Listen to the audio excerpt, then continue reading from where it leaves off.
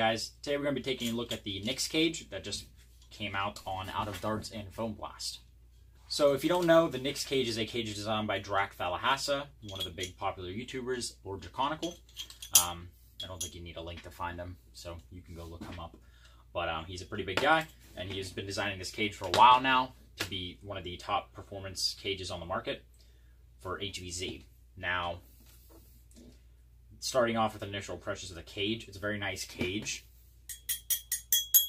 It's all anodized aluminum, and the black is a very, very nice anodizing finish with a laser engraved Nyx on it. And I got serial number 43 because it's my favorite number and they had it. So I decided to jump on the cage while I could still get the serial number.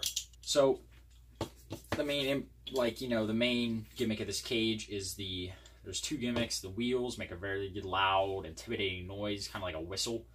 Um, it's very intimidating, apparently.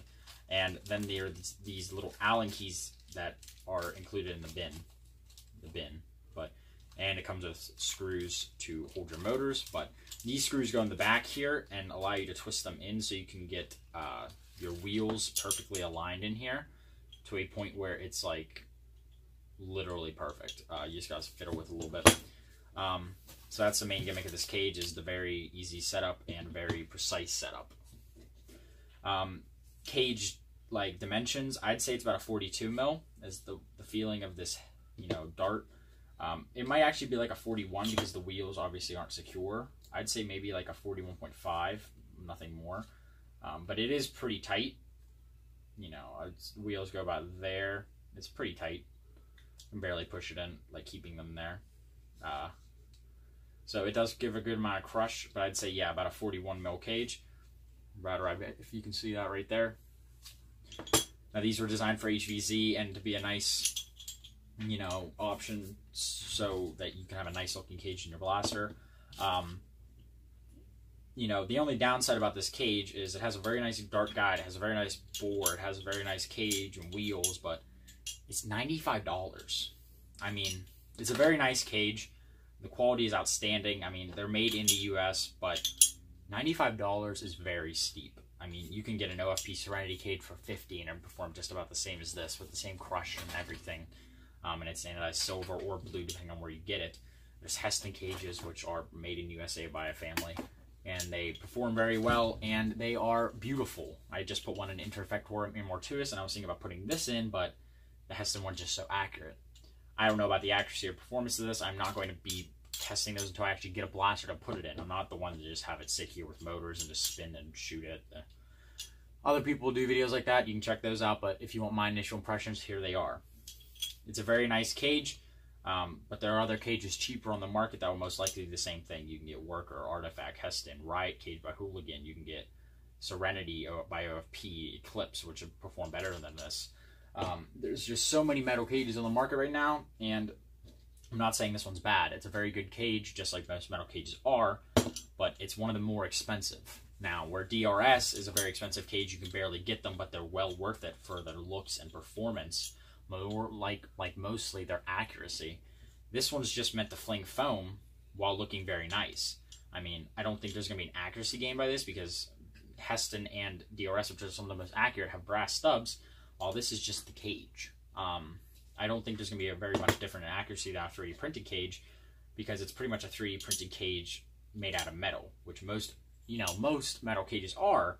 But again, they're priced accordingly, about 40 to $50. This one's 95 um, So, in my opinion, it's a very, very nice cage. You know, it fits all standard motors and everything in here, but $95 is very steep. I don't think it should be $95. I think it should be a lot less, and I think you're paying for the name on the cage. And unfortunately, that's where we are with some companies right now, like Worker and, you know, private companies. But my final opinions on this cage. Um, it's a very nice cage, well worth the money if you want this type of cage. The sound's very nice from what I've heard. Um, all the parts are actually thought out very well. This dart guide's very nice and wide to catch most of your darts as they go in.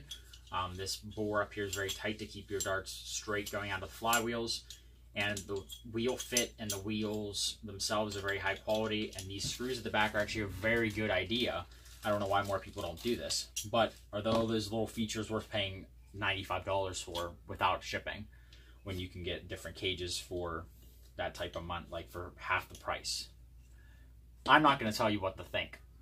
That's a very bad review standpoint, but um, this is more like my opinions. So uh, I think it's worth it because I just like metal cages. I was actually out of metal cages, so I needed another one, and this one's hot off the presses.